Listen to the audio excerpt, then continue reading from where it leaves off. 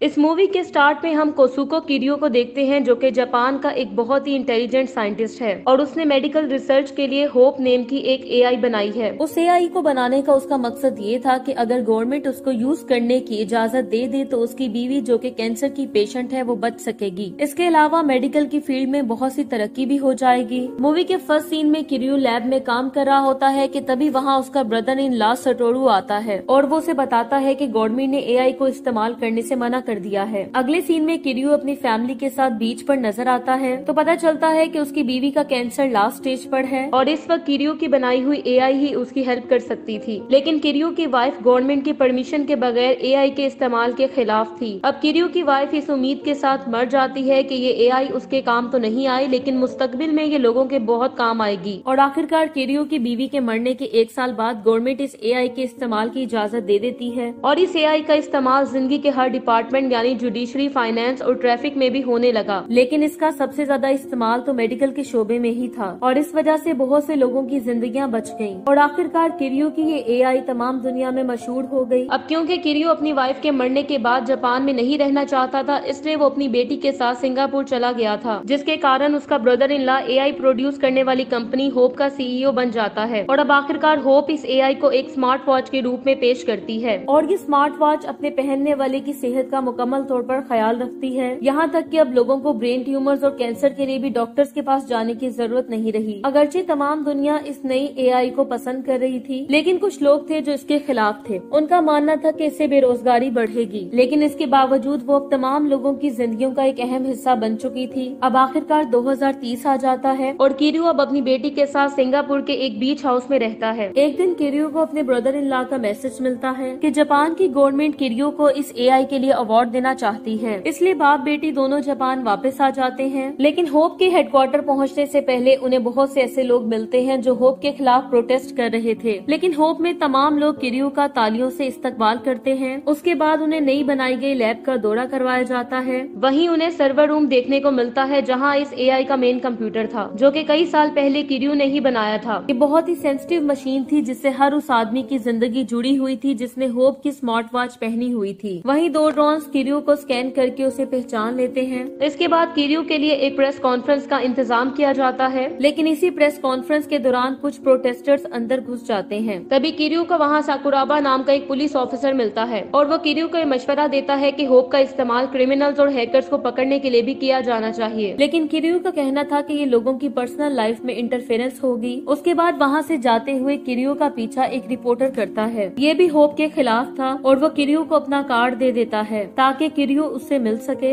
अब कार में बैठते किरियो की बेटी को कुडू को पता चलता है कि उसके पास उसकी माँ की इकलौती फ़ोटो भी गुम गई है और वो उस तस्वीर को ढूँढने के लिए बिल्डिंग के अंदर वापस जाती है। दूसरी तरफ़ किरियो प्राइम मिनिस्टर की तरफ़ से दी गई अवार्ड सेरेमनी में चला जाता है। दूसरी तरफ़ कोकोरू अपनी माँ की तस्वीर को ढूँढने के लिए सर्वर रूम में चली जाती है। उसी वक्त अचानक ही होप में कुछ खराबी आने लगती है और जापान के बहुत से हॉस्पिटल्स में मरीज़ मरने लगते हैं। और किसी को भी समझ नहीं आ रही थी कि यूँ एकदम लोगों के मरने का सबब क्या है। दूसरी तरफ़ पीएम जिसका हार्ट प्रेशर भी होप के साथ ही काम करता था उसने काम करना भी छोड़ दिया। और इस तरह वो भी मर जाती है। इसके साथ ही होप का इस्तेमाल करने वाला ऑटोमेटिक ट्रैफ़िक सिस्टम भी खराब हो जाता है। जिससे एकदम बहुत से एक्सीडेंट शुरू हो जाते हैं। दूसरी तरफ़ सटोरू को जब ये पता चलता है की होप में कुछ खराबी आ रही है तो वो फ़ौरन से मेन सेंटर में पहुँचता है। लेकिन इसी दौरान काकोरो सर्वर रूम में अकेली रह जाती है और होप में खराबी आने की वजह से होप का सेफ्टी सिस्टम ऑन हो जाता है जिसकी वजह से काकोरो सर्वर रूम में फंस जाती है। इसके फ़ौरन बाद ही मीडिया में खबरें आना शुरू हो जाती हैं और किरियो को भी होप में आई खराबी का पता चल जाता है। और जब वो अपने ब्रदर इन लॉ सटोरू को फ़ोन करता है तो उसे पता चलता है कि काकोरू सर्वर रूम में अकेली बंद हो गई है। और यहाँ सर्वर रूम में भी सेफ्टी सिस्टम ऑन हो जाता है और कंप्यूटर को नुकसान से बचाने के लिए टेम्परेचर बहुत तेज़ी से गिरने लगता है। और जल्द ही सर्वर रूम का टेम्परेचर ज़ीरो डिग्री तक पहुँच जाएगा। अब कोकोरू को इतनी ज़्यादा ठंड से बचाने का यही तरीका था कि टेम्परेचर ज़ीरो डिग्री तक पहुँचने से पहले कोकोरू को सर्वर रूम से बाहर निकाला जाए। इसी दौरान होप के प्रोग्रामर्स को पता चलता है कि होप के अंदर एक अनऑथराइज लॉगिन हुआ है। और इसी लॉगिन ने पूरे होप को हैक किया था। दूसरी तरफ़ गिरियो जब अपना बैग खोलता है तो उसमें एक टेबलेट मौजूद थी जिससे वो वायरस अपलोड हो रहा था। तभी वहाँ पे पुलिस भी पहुँच जाती है और किरियो को हैकर होने के इल्ज़ाम में अरेस्ट कर लेती है। और यहाँ साफ़ पता चलता है की कोई किरियो को फंसाने की कोशिश कर रहा है लेकिन तभी वहाँ एक कार एक्सीडेंट होता है और पुलिस की तवज्जो उस कार एक्सीडेंट की तरफ़ चली जाती है जिसे मौका पाकर किरियो भागने में कामयाब हो जाता है और इसी दौरान बार बार देखा जा सकता है कि वही रिपोर्टर किरियो को बार बार शूट कर रहा है। अब सटोरू गवर्नमेंट के परमिशन के बगैर ही क्रिमिनल हैकर को पकड़ने के लिए होप से मदद लेने का डिसाइड करता है और उसकी मदद गोडू और असानो करते हैं। अब पुलिस ऑफिसर होप की मदद से सीसीटीवी कैमराज सिक्योरिटी कैमराज और इवन लोगों के मोबाइल फ़ोन कैमराज की मदद से किरियो का पता लगा लेता है। उधर किरियो को भी पता चल जाता है कि उसे कैमराज की मदद से देखा जा रहा है। इसलिए वो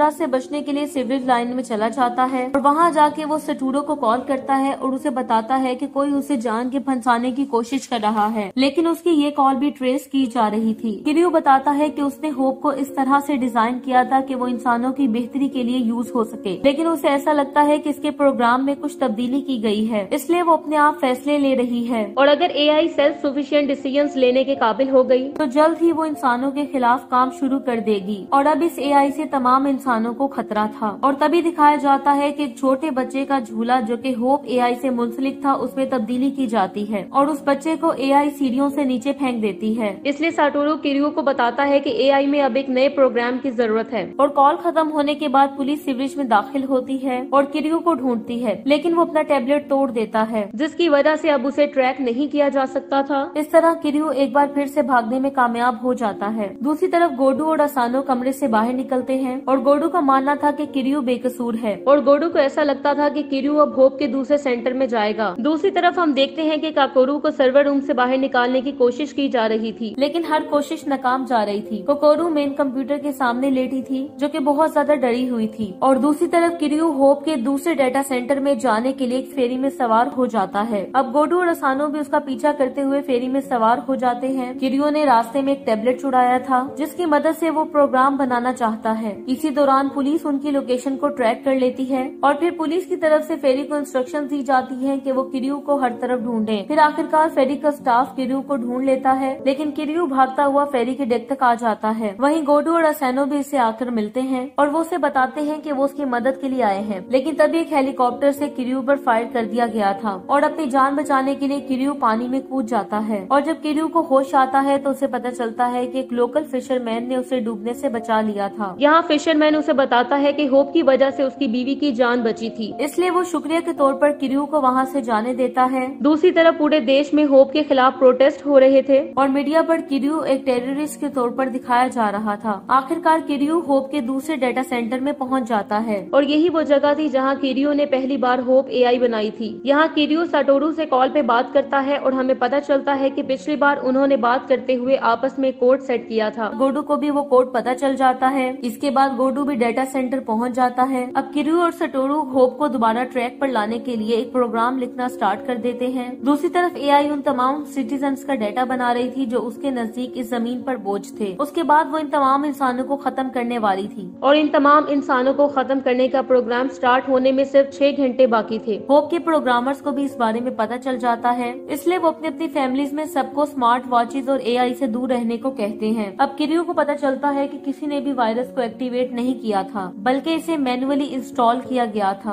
अब पिछले कुछ महीनों का डेटा देखने के बाद उसे एक बहुत ही अजीब बात पता चलती है। उसको पता चलता है कि सटूरू ने ही वो वायरस मैनुअली अपलोड किया था। इस मौके पर सटूरू किरियो को कहता है कि वो तो बस एआई को एग्जामिन कर रहा था, और वो नहीं जानता कि प्रोग्राम में कहाँ गलती हुई। और उसी वक्त पुलिस ऑफिसर्स भी वहाँ पहुँच जाते हैं, और वो फ़ौरन ही किरियो पर फायरिंग स्टार्ट कर देते हैं। लेकिन सटूरू अपनी कुर्बानी देकर किरियो की जान बचा लेता है, और अपने आखिरी वक्त में भी वो किरियो को अपनी बेगुनाही का यकीन दिलाता है। यहाँ पुलिस का पीछा करने पर किरियो एक बार फिर से भाग जाता है। गोडू और असानो भी उसका पीछा कर रहे थे और पीछा करने के दौरान किरियो की कार सड़क से गिर जाती है और वो कई फीट नीचे जा गिरती है और जब पुलिस उसकी बॉडी की तलाश करती है तो उसकी डेड बॉडी कार में से नहीं मिलती। दूसरी तरफ़ पुलिस ऑफिसर एक बार फिर किरियो को ढूँढने के लिए एआई का इस्तेमाल करता है लेकिन जब पुलिस उसे पकड़ती है तो वो कोई और आदमी था। अब पुलिस को अंदाज़ा होता है कि किरियो ने पुलिस के एआई सिस्टम को खराब कर दिया है और मौके से फ़ायदा उठाते हुए किरियो एक बार फिर होप के डाटा सेंटर में पहुँचने में कामयाब हो जाता है। और वो वहाँ प्रोग्रामर से मिलता है जो उसकी मदद करने के लिए तैयार थे। इसी दौरान पुलिस ऑफिसर भी अपनी टीम के साथ वहाँ पहुँच जाता है। यहाँ किरियो पुलिस को बताता है कि असल मुजरिम पुलिस ऑफिसर साकुराबा है। साथ ही वो मेन कंप्यूटर में वायरस अपलोड करने का वीडियो चला देता है। जिससे पता चलता है कि साकुराबा ने धोखे से वायरस मैनुअली अपलोड किया था। अब यहाँ साकुराबा का मुजरिम होना प्रूफ हो चुका था लेकिन फिर भी दूसरे पुलिस ऑफिसर्स उसकी बात मानते हैं। इसी दौरान साकुराबा बताता है कि उसका दिल चाहता है कि जापान पूरी दुनिया पर राज करे और इसके लिए ज़रूरी है कि उन तमाम लोगों का खात्मा कर दिया जाए जो जापान की तरक्की की राह में रुकावट है। और जैसे साकुराबा अपना जुर्म कबूल करता है तो पता चलता है की उसकी तमाम बातें रिकॉर्ड हो रही है। रिकॉर्ड होते साथ ही तमाम बातें टेलीकास्ट भी कर दी गई और सकुराबा के जुर्म को पूरे मुल्क ने अपनी स्क्रीन पर देखा। गोडू सकुराबा को गिरफ़्तार कर लेता है और उसे वहाँ से ले जाता है। जबकि किरियो अपनी बेटी को बचाने और होप को ठीक करने के लिए दौड़ता है। इसके बाद वो एक दफ़ा फिर से कोड को स्कैन करता है और अपनी बेटी काकोरो की हेल्प से वो इस कोड की स्कैनिंग में कामयाब हो जाता है। और जैसे ही होप रीप्रोग्राम होता है तो सर्वर रूम का डोर ओपन हो जाता है और आखिरकार किरियो अपनी बेटी की जान बचाने में कामयाब हो जाता है। इसी के साथ ही ये मूवी एंड हो जाती है। Thank you so much for watching